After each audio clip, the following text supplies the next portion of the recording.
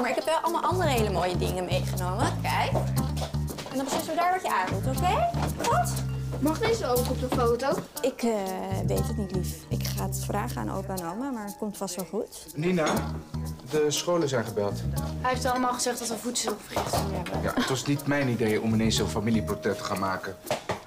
Manu, kijk nou eens even uit met die bal, jongen. Nee, is niet erg.